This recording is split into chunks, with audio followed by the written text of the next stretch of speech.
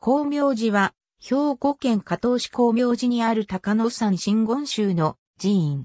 三号は、五宝山、本尊は十一面千樹千眼観世音菩薩。播磨高野とも呼ばれる、真言宗75名刹の一つ。創立者は、報道とされる。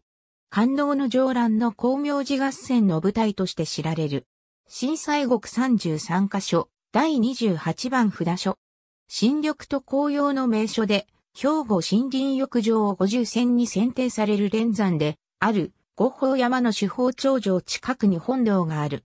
光明寺合戦にまつわる史跡は、本堂裏の本陣跡のほか、山内に数多く残る。水古天皇2年に、報道による改装と伝わる。報道は、天竺から紫の雲に乗って飛来したとされる伝説的人物である。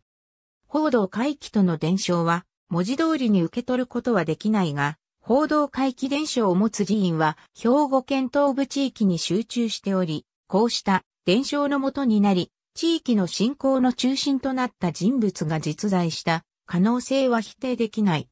自伝では平安時代初期に円人が山内に泊まったといい、人名天皇の直眼により常行堂が建立されたという。最盛期には、達中四家院の他に19の僧帽があった。